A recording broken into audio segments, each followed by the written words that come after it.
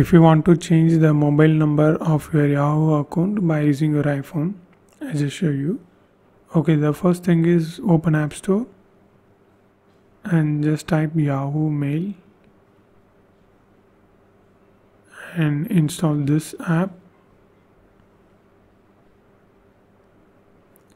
Just click download. It require ios 17 but i'm still on ios 16 you can download this. It doesn't matter then open this app and just sign into your yahoo account. It may be yahoo mail address or you can also sign in with your linked google account. I just click yahoo. Continue. And enter your gmail address. Next. And just tick this. I'm not a robot. Continue. And enter your password and click next not now not now next maybe later.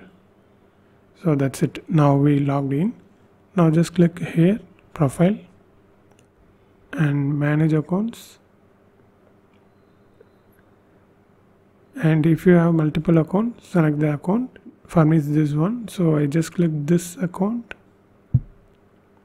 and security okay and show your face ID yeah here you can see phone number just open that. So now click add phone number and just enter the phone number you want to add I mean new phone number and click next. Then a one-time password will be sent to that added phone number. You just need to enter that on the next screen then your phone number will be added on this page. So if you want to make this newly added phone number as primary so you just need to delete the old phone number. Just click delete and delete the old phone number. Then your new phone number will automatically converted into a primary phone number. So this is how you need to do on iphone. And if you want to know more videos about Yahoo Mail, watch this playlist.